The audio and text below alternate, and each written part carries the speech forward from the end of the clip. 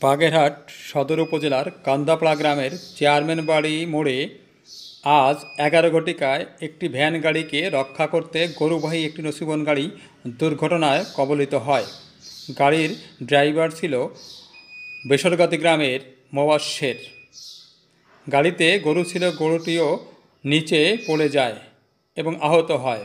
সেখানে এখনও পর্যন্ত গাড়ি এবং গরু তোলা সম্ভব হয়নি।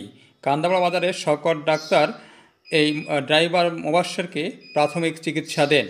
আসুন আমরা সরাসরি ভিকটিম এবং এই ডাক্তারের কাছ থেকে সব কথা শুনতে চেষ্টা করি। আর কিছু ছিল? সামনে কিছু ছিল? গাড়িটার সামনে ছিল কিছু?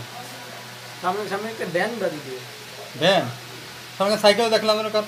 সাইকেলটা হলো গাড়িতে ছিল আমার গাড়িতে ছিল। ও গাড়ি সাইকেল ছিল। গাড়ি- তো এখন শোনা যায় নাই। গরুটারে উঠে কি বললি?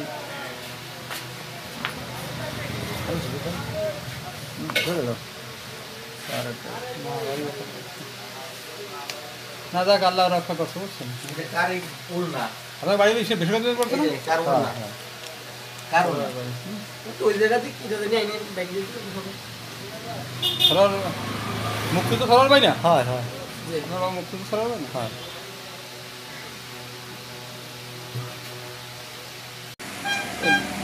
বেশি ফাটছে নাকি? কীরকম? ফাটছে কীরকম? ষাটটা সেলাই। ষাটটাই সেলাই?